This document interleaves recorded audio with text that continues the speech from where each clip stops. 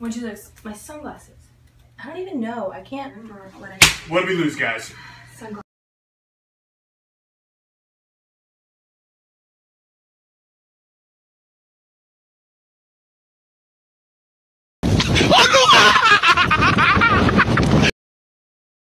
They ask you how you are, you just have to say that you're fine when you're not really fine, but you just can't get into it because they would never. Help me! No. Be so rude? Oh!